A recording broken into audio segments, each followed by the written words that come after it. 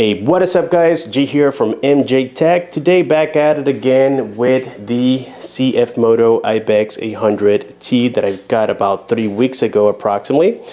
It is an amazing bike all around. I'm telling you guys, I am super in love with this bike and I have tested quite a bunch already. And this one just simply attracted me in every way, not only the looks, but it's also because of the comfort, the power, so on and so forth. Now, when I completed that video, guys, I rode it for about 80, 85 miles approximately to the house from the dealer, and I didn't have any issues. The bike was just fine, no problems whatsoever. But then, after some time off video, of course, I started riding it around the city and I started getting some MCU failures. So that's the computer inside of the bike. I was getting a message on the display stating that there was an issue with the bike and it was also causing the bike to overheat. So basically there's a software glitch where the bike doesn't start cooling and I'm talking about the fan specifically after about 206 degrees Fahrenheit which is quite hot already. So of course this was reported to CF Moto and after two weeks and a half they came up with the update guys. This is super exciting. Yes, we just got the OTA for this issue. As a matter of fact, if we read here where it says number one, says optimize radiator fan control logic.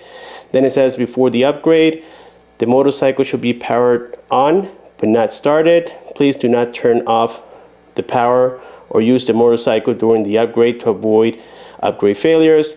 The upgrade is expected to take about five minutes.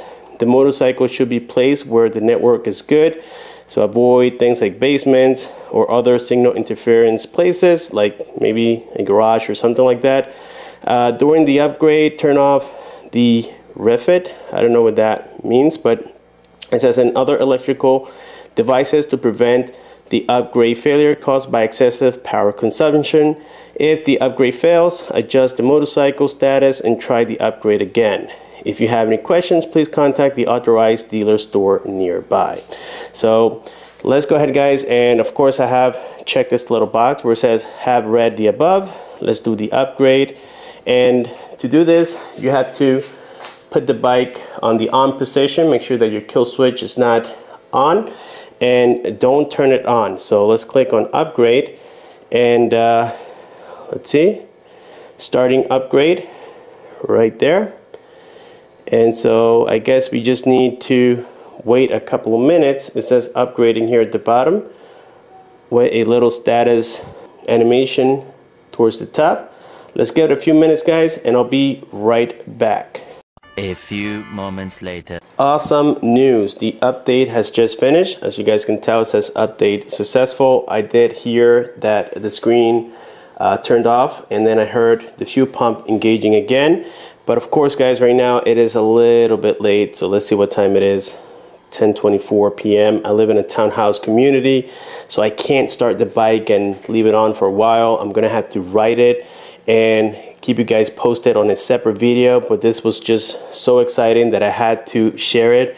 Um, so yes, again, we got an update from CF Moto, so you don't have to take it to your dealer. Hopefully, this will resolve all the MCU errors and all the overheatings.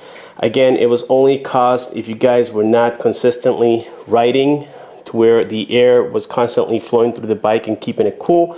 It was usually happening if you were riding in like a city or doing consistent stops. So with this being said guys, we have now finished here the quick tutorial on how to update the IBEX 800T slash 800MT if you find this video helpful, don't forget to hit that like button, subscribe for more, comment, and share. See you later.